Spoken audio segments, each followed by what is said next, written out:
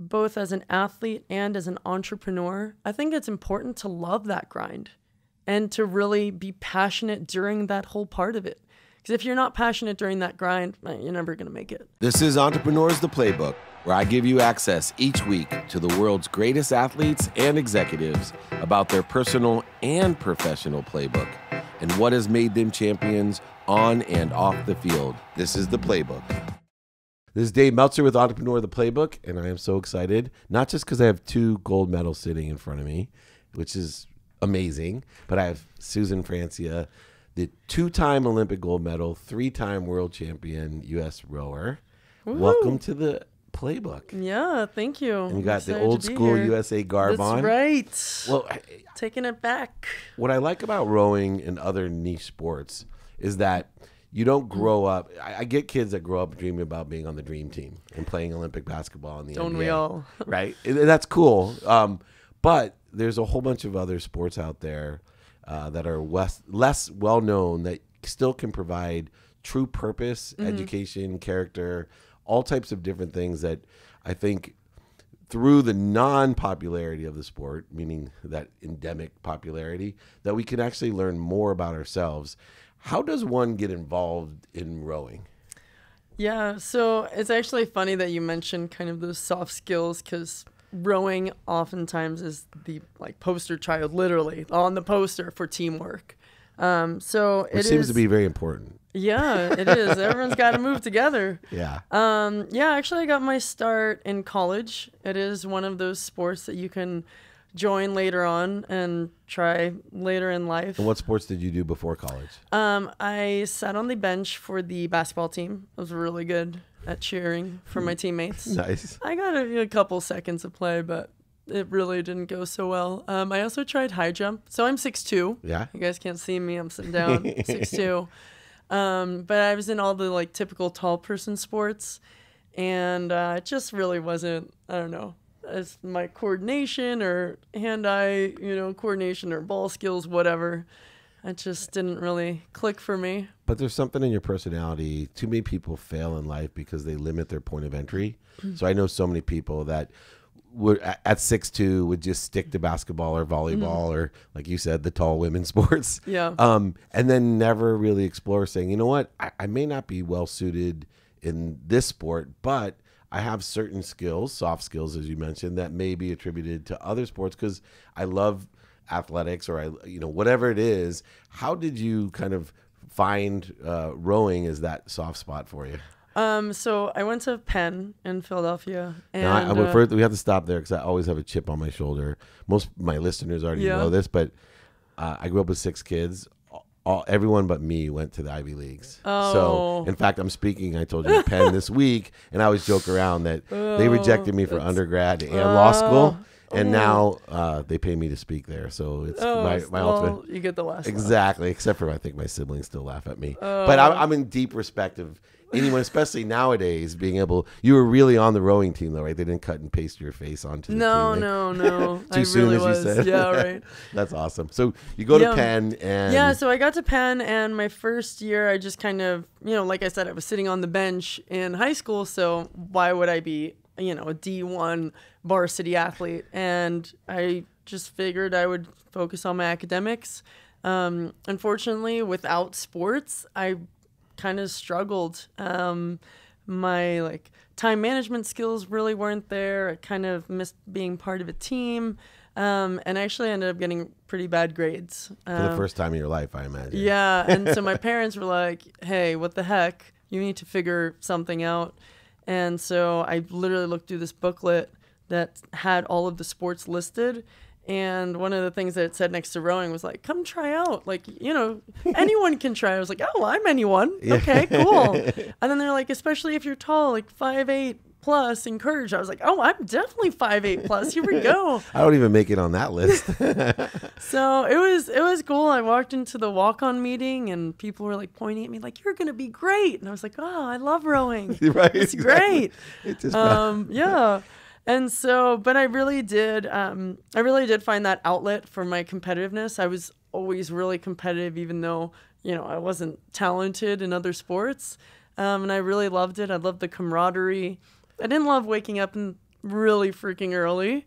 But, But that helped your um, grades. But it did help my grades, and I made the dean's list after I started rowing. So my parents were like, "Oh, you know, great, sure, enjoy Right. this rowing. We don't know what it's all about, but great, you got better grades. That's all we care about." Right? They just like the dean's Um, list. So then they were really surprised when I graduated, and I said, "Actually, I'm gonna go do this." And uh, I'd had some coaches who encouraged me and said, "Hey, you could get to the Olympics," and I was like, "Yeah, that's what I want to do." Right and on. my parents were like, "Are you sure, honey? Like you got the Spirit Award in high school and for athletics, like." Really, you're gonna go? Okay, all right, we support you. That's So awesome. yeah, it was it was really cool, and I mean now I don't even know where I would be without this sport. But Which is amazing. Now, in the playbook of success, there's certain things you learn through rowing. And you mm-hmm. talked about teamwork, but that's a real general term. I run businesses, and teamwork's essential to my success. You know, I Yeah. always actually put myself as a teammate, or even allow others to be my bosses. What are some of the things that you learn through rowing that most of us don't know the intricacies of rowing that really are attributed to teamwork and, and make you a successful teammate? I think one of the biggest things is pushing yourself because when you're all lined up next to each other on the rowing machine and you see someone really kind of push themselves and you know you're all you're all in pain and everyone's like going to that well and then you're just like okay I hit that brick wall. I'm going to keep pushing to failure. And kind of that journey together that is really what establishes trust and so when you're in the boat, you trust that that person in front of you, that person behind you, is going to their a- absolute max. And there's no question about that. And I think that's one of the real big things about teamwork. Not just like, oh, we can get along, but it's like, no, I know that I'm working as hard as I can, and so is everyone around me.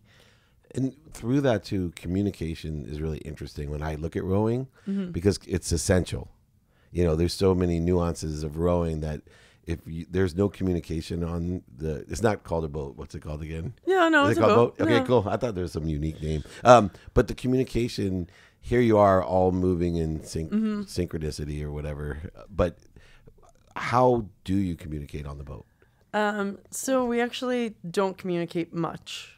Actually, the person who is communicating is the coxswain, and she's the person who sits at the front of the boat, and she is the eyes and ears, and she is the one who says, you know, how the race is unfolding, whether we need to do a power ten, and really at that point we're just listening and making sure that we're we're doing what she says. So the communication is. and she's not rowing at all No. Right. She's steering. that's but um but the communication really is the off the water kind of stuff of like, you know, even just moving the boats around and then, you know, when we're just friends and in our off time, that kind of communication is really is key. And I think respect plays a big big part in that. But um But I think I think listening is the bigger part of Mm-hmm. communication, right? Which is I found interesting in rowing is that if one person hears something different, Lou Holtz, who is Mm-hmm. the football coach at Notre Dame, has this great saying: "It's not what I say, it's what they hear." Mm-hmm. And if people are hearing something different, that could be a disaster uh, for your team. Now, is there like in football, the long snapper? I always say people are so jealous. There was a David Binns for the San Diego Chargers made like two million dollars a year. He was dating like some supermodel, and he never got. There's rules you can't hit the long snapper, and he would be like jogging around the. Is the coxswain in that position where everyone's kind of? Because it doesn't seem like you have to be in great shape to be a coxswain. Is that true? um well so there's kind of a weight limit, so you have to be 110 pounds. So they're Um, not six, six two. No, so they're not six two. um, but their their role is just as important. Mm-hmm. So again, like it goes back to that respect thing. Like I know that I can't do that job, and she can't do our job. But at the end of the day, we all need each other. Excellent. Now, Yeah. to get from Penn to the Olympics, there's Mm-hmm. a lot of sacrifice, uh, which in entrepreneurship, I always say is the misnomer or the missing piece that most people are dreaming of their passion, their purpose, and yet they haven't really thought through not making money. Mm-hmm. Giving every single thing that they have towards an ultimate goal, a personal goal, which then becomes a team goal. What types of sacrifices did you have to go through? Here you are, Dean's List at an Ivy League school. I'm sure this wasn't the highest paying job offer that you had to try to make the Olympic team. Yeah, and that's that's so interesting, and I completely agree um, with that assessment because the part that's not glamorous, like no one ever sees that. No one ever, you know, all people see is, oh, on NBC, oh yeah, you guys won the medal. Oh, that's yeah, okay, that's the whatever 10 minute snapshot that you see, and they don't see the four years, the eight years before that. Right. Um, or the years after. Or the years after. But honestly, I think both as an athlete and as an entrepreneur, I think it's important to love that grind and to really be passionate during that whole part of it. Because if you're not passionate during that grind, uh, you're never going to make it. Absolutely. And the, the same thing with rowing. Like if you're not passionate about the training, the blisters, you know, like this is oh. what it looks like, and wow. it hurts. Yeah, that looks. But like you keep going because you you love it and you have an end goal that like I'm gonna make it. It's gonna be me, and it's gonna be me and my teammates. One of the definitions of happiness that I came up with, I'm blessed to have Olympic friends, uh, pretty famous ones, and from Sugar Ray Leonard to mm-hmm. Apolo Ohno but they all have this enjoyment of the consistent everyday mm-hmm. persistent without quit pursuit of their potential. And it really is, the Olympians come very, very close to their potential. When you work that hard for so many years, you really get a feel for, wow, I'm really edging up to the best I can be. Uh, which is an extraordinary feeling, but you have to enjoy enjoy it. What did you utilize as motivation to stay inspired to enjoy that because that's the, in entrepreneurship. Mm-hmm. I've obviously had ups and downs, and people say, "How do you stay mo- so motivated every day?" How did you stay so motivated?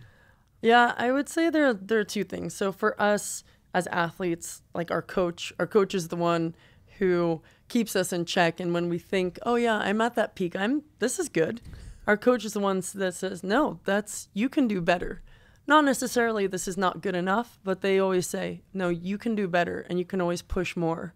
And then I think the other thing is, and I think this is very relevant also in entrepreneurship, when you get those setbacks or when someone really just says, no, you're not going to make it.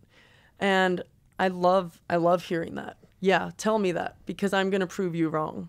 And it's, it's the same thing as an athlete of, you know, when other people doubt you, of saying like, okay, Yep, bring on that doubt. I I can't wait, you know, to be on that podium and show you that I was able to achieve this. And then there's another transition. You've won these gold medals, mm-hmm. and sooner or later, everyone gets old enough where they're not as good as they used to be. There's a biochemistry about it. Um, my business partner is a Hall of Fame quarterback, mm-hmm. and I always have asked him. He played till he's 44 years old, which is oh, extraordinary. Wow. Uh, you know, started when he was 44 years old. But I asked him, you know, what? Why don't you ever coach? Because I love to coach. Right. Mm-hmm. That's what I think makes me a great entrepreneur and leader in organizations. Is I'm probably a better coach than I was athlete. But some athletes can't coach. Yeah. Right, you know, and yeah. the worst thing you can do to a salesperson, a great salesperson, when they want to be in management, is take your best salesperson and make them an average manager, and now you've lost yeah. Bet, right? And what though for you in the transition, because you you are a great coach and you coach Thanks. at UCSD, uh, and we have an inner, inner San Diego rivalry. Yeah. We have the San Diego Road Classic coming up, which is phenomenal. We have USD, San Diego State, yeah. UCSD, some really, I think, good teams down there. What was it that in that transition was the most difficult thing from being an athlete mm-hmm. to now elevating others to elevate yourself? I think um, the biggest thing is that like sometimes I wish I could be in there for them, you know, and even as a coach, like you're just on the sideline and you can't like, all right, you know, Susie and Sally get out of there. Like, all right, I'm going to do this. And it's really just conveying, you know, all of those things that you've learned as an athlete and then using that to, to inspire others one of the things too that I think is interesting, and I'm in the middle ages, right? I'm 51 years old, so I've the I'm both ages. yeah the, the, the, both sides of the fence where it's I've seen for generations everyone go in my day, yeah, right? You know how much harder people worked, and and it's happened now generation after generation, and then you have this younger generation. I don't think you know on average, I I think kids really work hard, and, and they have different challenges and different backgrounds and different advantages but when it comes down to, and I'm around a lot of different mm-hmm. athletes, when they step on the field, there's that same. They may be bigger, stronger, and faster nowadays, but and and the parents may be helicopter or bulldozer parents, but in the end, like I love the fire that I see and college, minor league, professional athletes. It's the exact same as I saw in my idols. You know, Yeah. Bill Walton's down by you. Yeah, You know, I was a ball boy for the San Diego Clippers when I was 12, and Oh. all those guys playing, they look the same exact as now. I sit on the Lakers sideline and go, these guys are all trying really, really hard. They're just a little bit bigger and stronger. I, I totally agree. And it's really fun. And actually, so one of the events that we're doing at the San Diego Crew Classic is we're bringing together all of the alumni and all of the current athletes, and we're just mixing it up. And I think it's so important for like the new athletes to see, like, hey, you know what? These old ladies, you know, we still got it. Um, and then also of like, the older generation to say like all right this is the crew that's going to tokyo and these are the guys representing us at the us you know for the us and and it's just going to be a really um, exciting event that we're going to be that we're going to be having and of course i got put you know in charge of doing all of this but it's been great to just even reconnect with my teammates Talk about sacrifice being in charge of the San Diego Crew Oh. Classic. Yeah oh no no luckily i don't have to Oh, be in have the- charge of the whole oh, thing just- oh, good. just the alumni portion which, oh, is, just which is enough for right. me That's true sacrifice. But yeah, so it's gonna be on April sixth and seventh in San Diego. So if you guys are no better place are down there, come on out. Come come look at some. It's on uh, Mission Bay, right? Yeah, on Mission Bay. Yeah, which is one of the nicest- USA. USA versus USA, one of the nicest places in America's. Last question, though. You know, we have the gold medals here. Yep. Um, being the world's best is extraordinary, and there's a special feeling through all those years to be the world's best. Is there, you know, for me to be an American, I love that the Olympics is every other year. We have winter and then summer Mm. instead of they both were every four years because I think as nationalism is challenged sometimes here, that there's nothing better at uniting our country than the Olympics. And for that to fall on your shoulders, and then for that to fall on your shoulders and perform at the highest level to win these medals, explain to everyone what that felt like to you to step up on the podium and win and know that you unequivocally for that moment twice in your life you were the world's best Yeah, it's a it's a pretty amazing feeling. I mean, even when we're you know going through that grind, it's something that we think about. That like that's yeah, I want to be up on that podium. Um, and the pressure, you know, I or actually our our coach did a really good job of kind of keeping the media away from us because I know rowing's a smaller sport, but when we've now won multiple gold medals at the Olympics back to back to back, then all of a sudden it's like, oh, okay, well, you know, the U.S. women are probably gonna bring home gold, and then all of a sudden we do get some media attention, and it's good to just kind of keep it internal and remember what our goals are, not just as individuals, but also as like a boat, as a team. So the the pressure really is just is an internal factor, I think.